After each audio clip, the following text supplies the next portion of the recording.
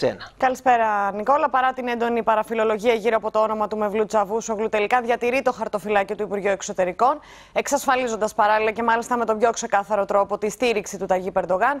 Αυτή ήταν και η μεγαλύτερη έκπληξη, αν θέλεις, του ανασχηματισμού στην Τουρκία. Ο Ιμπραήμ Καλίν που φερόταν τουλάχιστον μέχρι και πριν τη διάσκεψη στο Κραν Μοντανά ότι θα αντικαταστήσει τον Μευλούτ Τσαβούσογλου, παραμένει εκπρόσωπος της Προεδρίας. Την πλήρη στήριξη Ερντογάν απολαμβάνει φυσικά και ο γαμπρός του ο Μπεράτ Αλμπαϊράκ, παραμένοντας στη θέση του Υπουργού Ενέργειας. Η Φατμά Καγιά παραμένει επίσης στο Υπουργείο Οικογενειακών Υποθέσεων. Την αναφέρουμε διότι πρόκειται για την Υπουργό που είχαν απελάσει οι αρχές της Ολλανδίας όταν επιχείρησε να μιλήσει σε συγκέντρωση για το δημοψήφισμα Απριλίου χωρίς σχετική άδεια. Μάλιστα. Πάντως, 15 υπουργοί παραμένουν στις θέσεις τους, Μαρίνα. Μεταξύ αυτών και ο Υπουργός Οικονομίας ε, και σε άλλες αλλαγές υπάρχουν. Έξι νέοι υπουργοί προσθέθηκαν στο νέο Υπουργικό. Δεν είναι ευρύς ανασχηματισμός. Ανάμεσά τους είναι και μία γυναίκα. Πρόκειται για την Τζουλίτ Σαριόγλου στο Υπουργείο Εργασίας.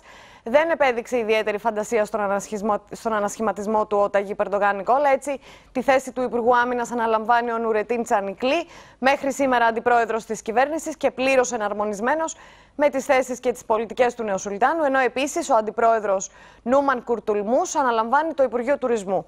Και βέβαια αντίστροφα τέσσερις υπουργοί γίνονται αντιπρόεδροι. Ο Υπουργός Δικαιοσύνης συγκεκριμένα Μπεκίρ Μποζντάγ, ο Υπουργός Άμυνας Φικρί Ισίκ, ο Υπουργός Υγείας Ρετζέπ Ακντάγ και ο τέως πρόεδρος του Συλλόγου Αλληλεγγύης Τούρκων Δυτικής Θράκης Παραρτήματος Προύσας, Χακάν Τσαβούσογλου, ενώ και ο Μεχμέτ, ο Μεχμέτ ε, Σιμσέκ διατηρεί το αξίωμα του αντιπροέδρου.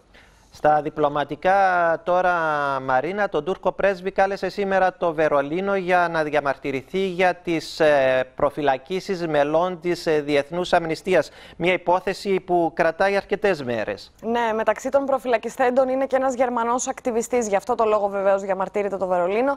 Διαμηνύει στην Άγκυρα μέσω του πρεσβευτή της ότι η γερμανική κυβέρνηση έχει πλέον αγανακτήσει με τη συμπεριφορά της Τουρκίας και δεν μπορεί πια να στραφεί και δεν μπορεί πια παρά να στραφεί ουσιαστικά σε άμεση λήψη μέτρων. Ε, τα γερμανικά μέσα ενημέρωσης αναφέρουν μέχρι και οικονομικά μέτρα.